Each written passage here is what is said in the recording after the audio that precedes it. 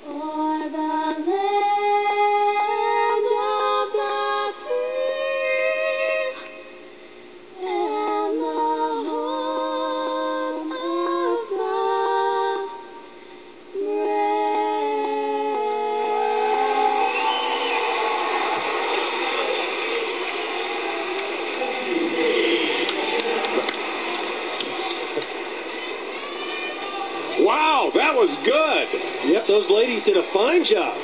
Along with Steve Jim from South Dakota.